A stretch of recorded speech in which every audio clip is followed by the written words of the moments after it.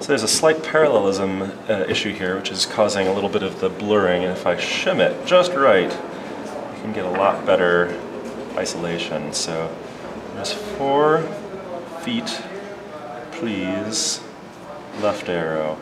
And I think I'm going to add a little bit of a margin to the uh, engraving pattern so that I can uh, have greater distinction between the patterns. But this is pretty good. I'm pretty happy with this. Not bad for uh, two days' work with other things. Four feet, please. And